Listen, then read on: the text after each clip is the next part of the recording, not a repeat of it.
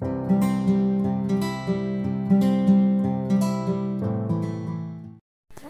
வலைக்கம். I'm Yasmin from எம்பை Yasmin welcome to my channel இன்றைக்கி நம்ம சேனலில் நம்மளோட ஃபேஸுக்கு எந்த எந்த பொருள்லாம் யூஸ் பண்ணக்கூடாது அப்படின்னு சொல்லிட்டு ஃபஸ்ட் நம்ம ஒரு அஞ்சு திங்ஸ் வந்து பார்க்கலாம். எதெல்லாம் நம்ம வந்து ஃபேஸ்க்கு ஒர்க் அவுட்டே ஆகாது அப்படின்னு சொல்லிட்டு. அது கூடவே நம்ம வந்து இந்த சம்மருக்கு ஏற்ற மாதிரியான ஒரு ரெண்டு ட்ரிங்க்ஸ் ரெசிபி பார்க்க போகிறோம் அதில் நம்ம ஃபஸ்ட்டு பார்க்க போகிறது வந்து ஐஸ் காஃபி. இதுக்கு என்னென்ன பொருட்கள் தேவை அப்படிங்கிறத நான் கீழே டிஸ்கிரிப்ஷன்லேயும் கொடுக்குறேன். நீங்கள் அங்கே போயும் செக் பண்ணிக்கலாம். ஃபர்ஸ்ட் நம்ம ஃபேஸுக்கு யூஸ் பண்ணக்கூடாத பொருள் என்னதுன்னா லெமன் கண்டிப்பாக லெமன் வந்து ஹெல்த்துக்கு ரொம்ப நல்லது தான் அது எப்போ அப்படின்னா நம்ம அதை சாப்பிடும்போது. அதாவது நம்ம லெமனை வந்து ஏதாவது ட்ரிங்க்கில் போட்டோ அப்படி இல்லைன்னா வெறும் வாட்டரில் லெமனை வந்து ஸ்லைஸ் பண்ணி போட்டோ சாப்பிடும்போது அது நம்ம ஹெல்த்துக்கு வந்து ரொம்ப நல்லதே தவிர நம்ம ஃபேஸுக்கு வந்து அது நம்மளுக்கு ஒர்க் அவுட்டே ஆகாது. லெமனில் விட்டமின் சி இருக்குது ஆன்டி ஆக்சிடென்ட் இருக்குது அதனால் வந்து அது வந்து ஆக்னி ட்ரீட் பண்ணும் பிளாக் ஹெட்ஸ் ரெடி ரெடியூஸ் பண்ணும் டிஸ்கலரேஷனை வந்து கரெக்ட் பண்ணும் அப்படின்னு சொல்லிட்டு நிறைய யூடியூப் சேனலில் நானும் பார்த்தேன். பட் அது எதுவுமே ஒர்க் அவுட் ஆகாது.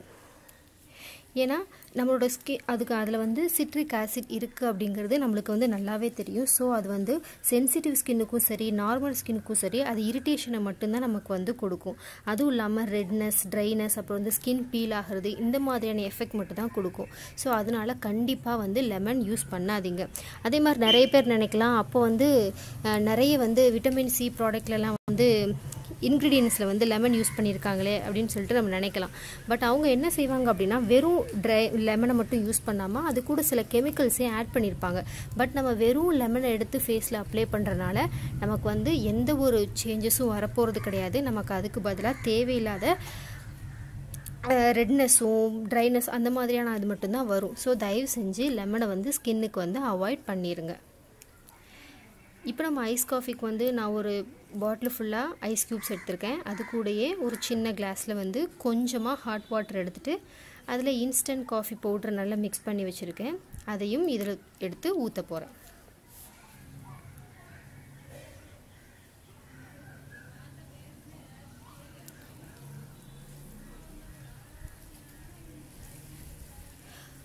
உங்களுக்கு நல்ல காஃபி ஸ்ட்ராங்காக இருந்தால் பிடிக்கும் அப்படின்னா நீங்கள் எக்ஸ்ட்ரா கூட காஃபி பவுடர் யூஸ் பண்ணிக்கலாம்.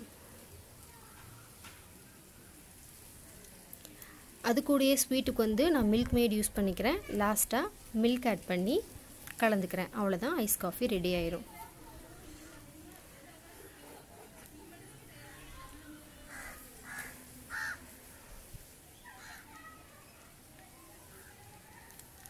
நம்ம செகண்ட் பார்க்க போகிற ப்ராடக்ட் என்னது அப்படின்னா வேஸ்லின் வேஸ்லின் வந்து பெட்ரோலியம் ஜெல்லி நார்மலாகவே நமக்கு தெரியும். இது வந்து ஒரு ட்ரக் ஸ்டோர் ப்ராடக்ட் தான். நிறைய மாய்ஸ்சரைசர் வந்து ஹை எண்டில் இருக்கும் அப்படின்றனால நம்ம டக்ஸ் ட்ரக் ஸ்டோர் ப்ராடக்ட்ன்றனால இந்த வேஸ்லின் வந்து நம்ம வந்து யூஸ் பண்ணுறோம் மாய்ஸ்சரைசருக்காக பட் இது வந்து நமக்கு என்ன செய்யும் அப்படின்னா டெம்ப்ரவரியாக மட்டும்தான் நம்ம ஸ்கின்னை வந்து ட்ரைனஸ்லேருந்து இது வந்து ப்ரொடெக்ட் பண்ணும். ஏன்னா இது என்ன செய்யணும்னா கொஞ்ச நாள்லேயே நம்ம ஸ்கின்னுக்கு வந்து இரிட்டேஷனை வந்து தர ஆரம்பிக்கும். எதுக்குன்னா நம்மளோட ஸ்கின்ல நார்மலாகவே பாக்டீரியா எல்லாமே இருக்க தான் செய்யும். ஸோ அது கொஞ்ச நாளில் வந்து அதுவே தன்னால் ஒரு சர்டன் பீரியடில் அதுவே வெளியே வர ஆரம்பிக்கும்.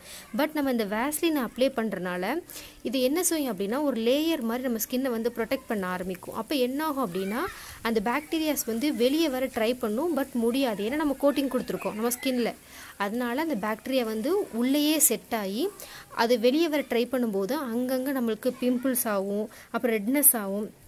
அந்த மாதிரி வந்து சில இடத்துல வந்து வர ஆரம்பிக்கும். இது போக தேவையில்லாமல் நமக்கு இச்சிங்கும் ஃபேஸில் வந்து வர ஆரம்பிக்கும். ஸோ வேஸ்லினும் தயவு செஞ்சு ஃபேஸில் அப்ளை பண்ணாதீங்க.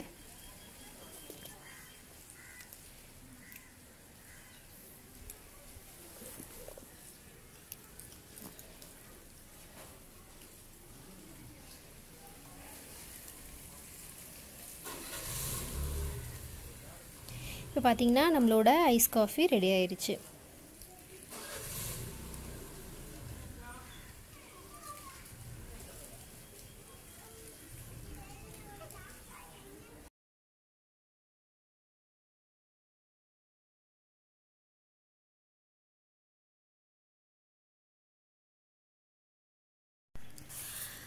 தேர்ட் நம்ம பார்க்க போகிற பொருள் என்னது அப்படின்னா பேக்கிங் சோடா நிறைய வீடியோஸ் வந்து நீங்கள் யூடியூப்பில் செக் பண்ணீங்க அப்படின்னா இந்த ஃபைவ் மினிட்ஸ் கிராஃப்ட் அந்த மாதிரி வீடியோஸ்லாம் என்ன சொல்லியிருப்பாங்க அப்படின்னா பேக்கிங் சோடாவை வந்து நீங்கள் நோஸ்லையோ எங்கெல்லாம் பிளாக் ஹெட்ஸ் இருக்கோ நீங்கள் அங்கெல்லாம் யூஸ் பண்ணிங்க அப்படின்னா அது வந்து வந்துடும் பிளாக் ஹெட்ஸ் வந்து ரிமூவ் ஆயிரும். அதே மாதிரி அண்டர் ஆர்ம்ஸ்லையும் உங்களுக்கு வந்து பிளாக் கலரில் இருக்குது அப்படின்னா நீங்கள் பேக்கிங் சோடாவை யூஸ் பண்ணிங்கன்னா உங்களுக்கு வந்து ஒயிட் ஆயிரும் அப்படின்னு சொல்லிட்டு நிறைய கொடுத்துருப்பாங்க.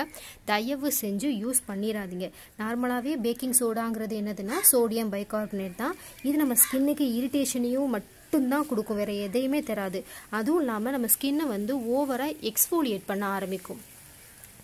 நான் நம்மளோட ஸ்கின்னை வந்து நார்மலாகவே டுவெண்ட்டி எயிட் டேஸ்க்கு ஒரு தடவை தான் எக்ஸ்ஃபோலியேட் வந்து நம்ம பண்ணணும். ஸோ இந்த பேக்கிங் சோடாலாம் என்ன செய்யும் அப்படின்னா ரொம்ப ஓவராக வந்து நம்ம ஸ்கின்னை வந்து எக்ஸ்ஃபோலியேட் பண்ணி நமக்கு நிறைய பிரேக் அவுட்ஸையும் ட்ரை ஸ்கின்னையும் ஸ்கின் பேர்னிங்கை மட்டும்தான் கொடுக்கும். நம்ம நெக்ஸ்ட் பார்க்க போகிறதுனா ஆயில் தயவு செஞ்சு ஆயில் வந்து ஃபேஸில் வந்து அப்ளை பண்ணாதீங்க. ஏன்னா நிறைய பேர் சொல்லுவாங்க ஓவர் நைட் வந்து நம்ம ஆயில் அப்ளை பண்ணிட்டு படுக்கிறது வந்து நல்லது அப்படின்னு சொல்லிட்டு. பட் ஆனால் அது அப்படி கிடையாது. ஆயிலுமே வேஸ்லி நமக்கு என்ன செஞ்சதோ அதை தான் இந்த ஆயிலும் வந்து செய்யும். எல்லா இச்சிங் ரெட்னஸ் அது அது மட்டும்தான் நமக்கு வந்து கொடுக்கும். வேறு எதையும் தராது. அதே மாதிரி நம்ம மேக்கப் ரிமூவ் பண்ணுறதுக்கு அஃப்கோர்ஸ் நம்ம ஆயில் யூஸ் பண்ணி நம்ம மேக்கப் வந்து ரிமூவ் பண்ணுவோம். ஏன்னா நம்மளோட மேக்கப்லேயும் சரி இந்த ஆயில்லையும் சரி ஃபேட் இருக்கனால ரெண்டுமே ஈக்குவலாக வந்து பேலன்ஸ் பண்ணி நம்மளோட மேக்கப் வந்து பர்ஃபெக்டாக ரிமூவ் பண்ணிடும் கண்டிப்பாக நீங்கள் ஆயில் வச்சு நீங்கள் மேக்கப்பை ரிமூவ் பண்ணதுக்கப்புறமா ப்ராப்பராக நீங்கள் உங்கள் ஸ்கின்னை வந்து கிளென்சிங் பண்ணி ஒரு டோனர் கொடுத்துக்குங்க. ஏன்னா அந்த ஆயிலோட நம்ம எப்போவுமே தூங்கக்கூடாது. நைட்டும் சரி. ஏன்னா அந்த ஆயில் ஃபுல்லாக வந்து நம்ம ஸ்கின்னை வந்து மோசமாக தான் ஆக்கும். பிரேக் அவுட்ஸை தான் கொடுக்கும். தயவு செஞ்சு ஆயில் ஸ்கின்ல அப்ளை பண்ணாதீங்க. இப்போ நம்ம அடுத்து பார்க்க போகிற ட்ரிங்க் என்னென்னு பார்த்தீங்கன்னா பிஸ்தா மில்க் இதுக்கு வந்து பெருசாக எதுவும் தேவைப்படாது. நான் ஆல்ரெடி காய்ச்சி கூலாக்கி வச்சுருக்கேன் மில்க் எடுத்திருக்கேன். பிஸ்தா வந்து கொஞ்சம் ஊற போட்டு வச்சுருக்கேன். அப்புறம் சுகர் அதுக்கப்புறமா வெனிலா ஐஸ்கிரீம் ஆட் பண்ணியிருக்கேன் உங்களுக்கு ஐஸ்கிரீம் தேவைன்னா ஆட் பண்ணிக்கோங்க இல்லைனா வேணாம். அதே மாதிரி பிஸ்தா வந்து நான் வந்து பேஸ்ட் பண்ணி போடலை. நீங்கள் பேஸ்ட்டாக தான் உங்களுக்கு வேணும் அப்படின்னா நீங்கள் தனியாக பேஸ்ட் பண்ணி நீங்கள் அதை வந்து ஆட் பண்ணிக்கலாம். இதுவுமே சம்மருக்கு ஒரு ஏற்ற ஒரு ட்ரிங்காக தான் இருக்கும். ஃபைனல் ப்ராடக்ட் நம்ம என்னது பார்க்க போகிறோம் அப்படின்னா கோல்கேட் அதாவது டூத் பேஸ்ட் டூத் பேஸ்ட் வந்து எப்படி அப்படின்னா நம்ம காலேஜ் படிக்கும் போதும் சரி ஸ்கூல் படிக்கும் போதும் சரி நம்ம ஃப்ரெண்ட்ஸ்லாம் நமக்கு என்ன சொல்லுவாங்க அப்படின்னா எங்கேயாவது பிம்பிள் வந்துருச்சுன்னா ஐயோ பிம்பிள் வந்துருச்சா நீ உடனே என்ன செய் பேஸ்ட் எடுத்து நீ அவங்க வந்து அப்ளை பண்ணிக்கோ. அப்ளை பண்ண அன்னைக்கு உனக்கு வந்து போயிடும் அப்படின்னு சொல்லிட்டு சொல்லுவாங்க. ஏன்னா பர்சனலாகவே இதை நான் வந்து ஃபீல் பண்ணியிருக்கேன். ஏன்னா நான் என்னோடய காலேஜ் டேஸ்லேயும் ஸ்கூல் டேஸ்லேயும் நிறைய ஃப்ரெண்ட்ஸ் என்கிட்ட சொல்லியிருக்காங்க. ஆனால் அட்டர் ஃபெயிலியர் மட்டும்தான் எதுவுமே நடந்தது கிடையாது. பேஸ்ட் வந்து எதுக்கு அப்படின்னா அது வெறும் ப்ரஷ் பண்ணுறதுக்கு மட்டும்தானே தவிர உங்கள் ஃபேஸுக்கு வந்து கிடையாது. கிடையவே கிடையாது. உங்களுக்கு பிம்பிளோ ஏதோ வந்துச்சு அப்படின்னா நீங்கள் அதுக்கு தகுந்த மாதிரியான ப்ராடக்ட்ஸ் நிறைய வந்து மார்க்கெட்டில் கிடைக்க தான் செய்யுது. நீங்கள் அதுவும் யூஸ் பண்ணிக்கோங்க. ஒன்றும் ப்ராப்ளம் இல்லை. ஆனால் தயவு செஞ்சு பேஸ்ட்டை வந்து போடாதீங்க. ஃபுல் அண்ட் ஃபுல் அது வந்து ஒர்க் அவுட்டே ஆக போகிறது கிடையாது.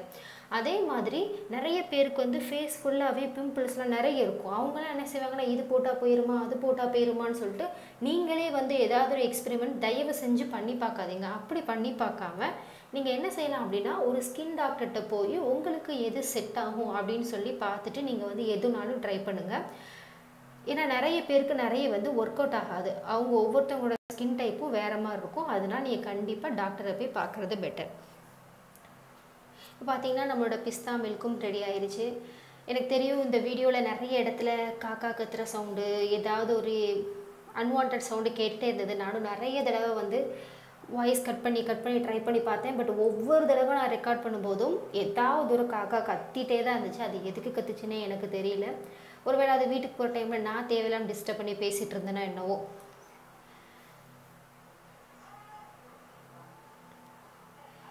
பார்த்திங்கன்னா நம்மளோட மில்க் ஷேக்கும் ரெடி ஆயிடுச்சு உங்களுக்கு இந்த வீடியோ பிடிச்சிருந்துச்சின்னா லைக் பண்ணுங்கள் ஷேர் பண்ணுங்கள் மறக்காமல் என்னோடய சேனலுக்கு சப்ஸ்கிரைப் பண்ணுங்கள் அஸ்லாம் வலைக்கம்